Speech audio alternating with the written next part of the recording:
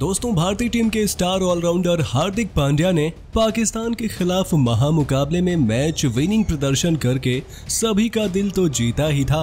वहीं मैच खत्म होने के बाद हार्दिक ने एक और ऐसा काम किया है जिसने एक बार फिर करोड़ों फैंस का दिल जीत लिया है। दरअसल मुकाबले के बाद हार्दिक पांड्या और दुबई स्टेडियम में मौजूद फैंस के बीच एक ऐसा लम्हा देखने को मिला जिसकी वीडियो सोशल मीडिया पर काफ़ी तादाद में वायरल हुई है और इस वीडियो में हार्दिक पांड्या की महानता को देखने के बाद उनकी जमकर वाहवाही की जा रही है। तो आखिर क्या है पूरी खबर? और ऐसा हार्दिक पांड्या ने क्या किया जिसको देखकर सभी ने किया इस खिलाड़ी का सम्मान? दोस्तों, पाकिस्तान के खिलाफ एक बड़े मुकाबले में गेंद और बल्ले दोनों से शानदार प्रदर्शन करने वाले भारतीय टीम के स्टार ऑलराउंडर हार्दिक पांड्या ने मुकाबला खत्म होने के बाद स्टेडियम में मौजूद सभी फैंस का दिन बना दिया।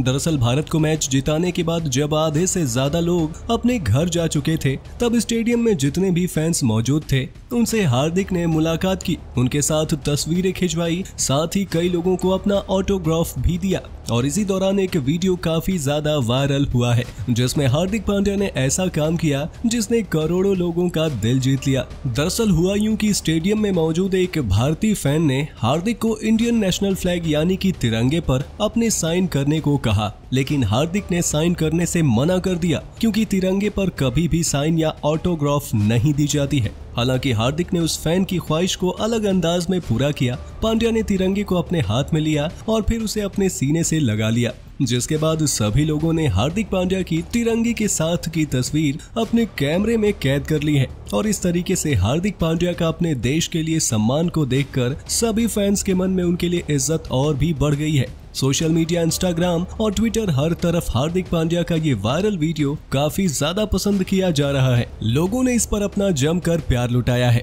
और इस वीडियो को काफ़ी तादाद में शेयर किया जा रहा है। दोस्तों, आपको बता दें, हार्दिक पांड्या ज़्यादातर क्रिकेट फ़ील्ड पर अपने अलग स्वैग के लिए मशहूर हैं और उनके इस अंदाज को काफ़ी पसंद किया जाता है। पाकिस्तान के खिलाफ जिस कूल माइंड से उन्होंने मुकाबले को खत्म करने के बाद जिस तरह का अंदाज दिखाया, उसने भी काफ़ी सुर्खियाँ बटोरी। कई लोगों ने यहाँ तक कहा कि हार्दिक ने बिल्कुल एम एस धोनी स्टाइल में मुकाबले को खत्म किया और ऐसा लगता है कि उन्होंने धोनी से काफ़ी कुछ सीखा है। बहरहाल, हार्दिक पांड्या दी ऑलराउंडर का भारतीय क्रिकेट में वापस आना टीम इंडिया के लिए सबसे बड़ा पॉजिटिव है। और न सिर्फ़ एशिया का, बल्कि वर्ल्ड कप को ध्यान में रखते हुए ये खिलाड़ी टीम इंडिया का सबसे बड़ा मैच विनर बन चुका है। ऐसे में दोस्तों, हार्दिक पांड्या के इस नए अंदाज के ऊपर आपकी क्या राय है? अपने जवाब कमेंट करके ज़रूर बताइए। और ऐसे ही शानदार खबरों के लिए क्रिकेट इन इंडिया को ज़रूर सब्सक्राइब कर लें। वीडियो अच्छी हो तो इसे लाइक ज़रूर